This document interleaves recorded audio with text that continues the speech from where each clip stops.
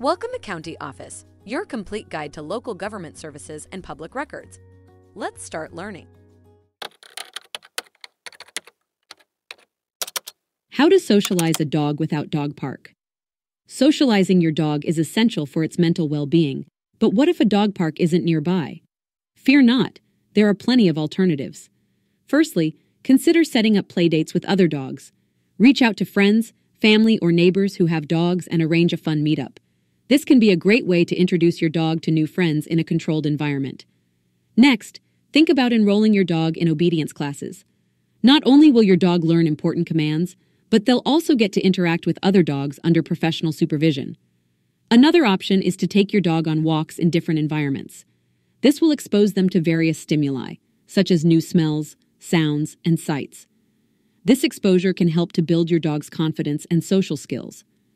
Pet friendly stores are also a great place to socialize your dog. These establishments often welcome dogs and can provide a unique socializing experience.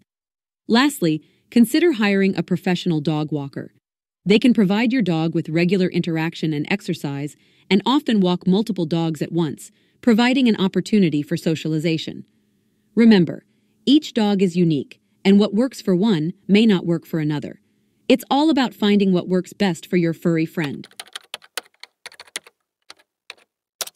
Take a look at the links in the description below to learn more.